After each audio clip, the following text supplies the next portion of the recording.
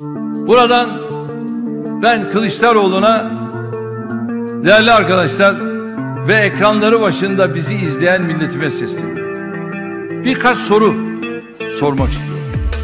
Bu sorulara öyle kıvırtarak, laf çevirerek, yuvarlak sözler ederek değil, kesin, kati, net cevap vermesini bekliyorum. Şayet bu delikanlılığı yaparsa kendisini siyaseten ve tıbben mazur görmekten vazgeçip muhatap olmaya başlayabiliriz. Birinci sorum. PKK'dan YPG'ye bölücü terör örgütünün bütün unsurlarını DHKPC'den TİKKO'ya, FETÖ'den DAEŞ'a tüm terör örgütlerini, siyasi uzantıları, medya destekçileri yurt dışında bağlantılarıyla birlikte en şiddetli şekilde lanetliyor mu, lanetlemiyor? Bu bir. İkinci soru. Türkiye'nin PKK ve YPG'ye karşı yürüttüğü sınır ötesi harekatlarını destekliyor mu, desteklemiyor mu? Üçüncü sorum. İsveç ve Finlandiya'nın NATO üyeliği tartışmalarında bir kez daha ortaya çıkan Batı'nın terör örgütlerine ve ülkemizin milli çıkarlarına yönelik riyakar tutumuna karşı kendi devletinin izlediği politikaların yanında mı değil mi? Dördüncü soru.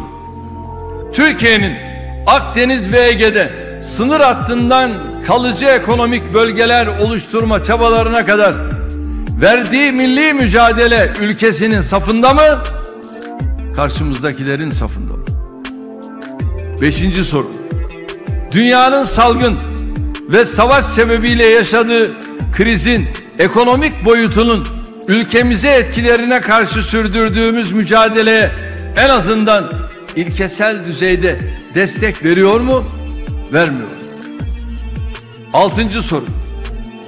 Mahkeme kararları ve kurum açıklamalarıyla yalan olduğu tescillenmiş iddiaları bir kenara bırakıp siyaseti ülkenin ve milletin âli çıkarları üzerinden yürütmeye var mı yok mu? Yedinci soru. Siyasi stratejilerini yabancı ülke temsilcilerine hazırlatmak ve onaylatmak yerine kendi partisinin mensuplarıyla ve ülke kamuoyuyla belirlemeye yönelecek mi, yönelmeyecek mi? Sekizinci soru. Bin yıldır kanlarımızla sulayarak ebedi vatanımız haline getirdiğimiz bu toprakların tüm değerleri, sembolleri, birikimleri ve kazanımlarıyla asil bir devletin evladı gibi hareket etmeyi kabul ediyor mu? Etmiyor. Dokuzuncu soru. Partisi içindeki her türden terör örgütü destekçisini, her türden hırsızı, tacizci, tecavüzcü, istismarcıyı tasfiye etmeyi düşünüyor mu? Düşünmüyor mu?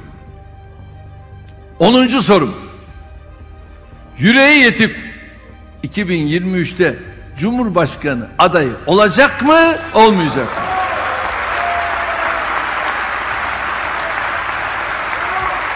Bu soruları uzatmak mümkün. Biz sadece bu kadarına vereceği cevaplara da razıyız.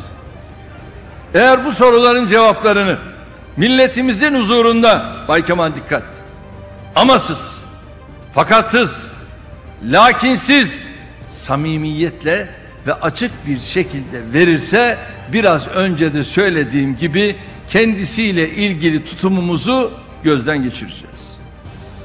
Aksi takdirde yalancıdan siyasetçi olmaz demeye, yalancıdan genel başkan olmaz demeye, gavurun kılıcını çalandan adam olmaz demeye, kendi ülkesini başkalarına şikayet edenden vatandaş olmaz demeye, karikatür tiplerin ezeyanlarına millet mahkum edilmez demeye, kifayetsiz muhterislere ülke teslim edilmez demeye devam edeceğiz. Devam edeceğiz. Şimdi bu zatın Demirtaş'ından Kavala'sına, FETÖ'cülerinden PKK'lılarına kadar ülke ve millet düşmanı teröristleri savunmaktan hatta bunun için Ankara'dan İstanbul'a yürümekten başka bir çabası var mı? Türkan Vakfı'nın Amerika'daki yurt binasının inşaatını diline dolayan bu kişinin mesela FETÖ'nün oradaki okul görünümlü fitne yuvalarından PKK'nın oradaki faaliyetlerinden şikayetçi olduğunu hiç görmedik. Bu yurdun Amerika'da eğitim görecek öğrencilerimize hizmet vermek üzere yapıldığını biliyoruz. Peki Kılıçdaroğlu bu yurdu binbir türlü iftira ile diline dolayarak kime hizmet ediyor dersiniz? Rahmetli Muhammed Ali'nin çiftliğini de aynı vakfımız vasıtasıyla öğrencilerimizin hizmetine sunarak bu zatı daha da çatlatacağız, daha da kıvrandıracağız. Bu zatın eğitim faaliyeti yürüten vakfımıza yaptığı her iftirayı burnundan fitil fitil getirmekte, öteki dünyada yakasına yapışmakta boynumuzun borcudur.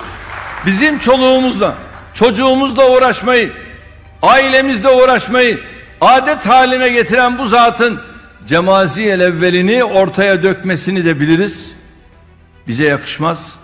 Onun için sesimizi çıkarmıyoruz. Yalan olduğu ilgili kurumlar tarafından da mahkemeler tarafından da defalarca ispatlanmış konuları sanki ilk defa söylüyormuş gibi sürekli tekrarlama ısrarı şahsiyetli bir adamın yapacağı iş değildir.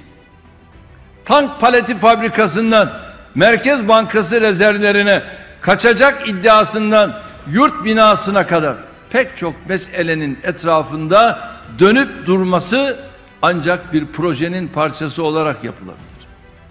Bu bizzat sahiplerinin alenen ifade ettiği şekilde ülkemizde yönetimi yalanla, iftira ile, çarpıtmayla, medya manipülasyonlarıyla, sosyal medya kampanyalarıyla değiştirme projesidir.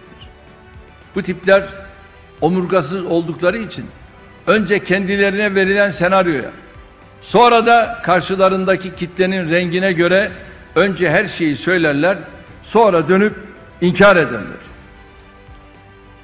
Kapısından içeriye giremediği yerlerdeki sefil halini, korkudan içeri kaçtılar diyerek anlatacak kadar şahsiyet fukarası bu karikatür tip için harcadığımız her nefese acıyoruz.